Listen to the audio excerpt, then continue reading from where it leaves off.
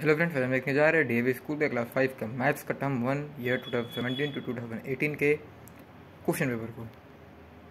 This is some general instructions then section A then section B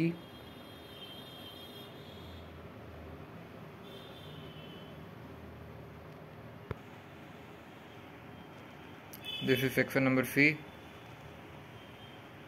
then section D